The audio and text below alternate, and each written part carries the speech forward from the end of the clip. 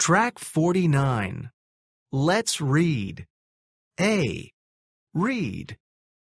Officer Smith always goes to work at night. He usually flies a helicopter.